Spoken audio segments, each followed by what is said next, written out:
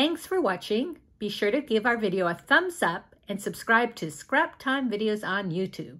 In the meantime, here are a couple of other videos you might be interested in watching. See you next time. Bye-bye.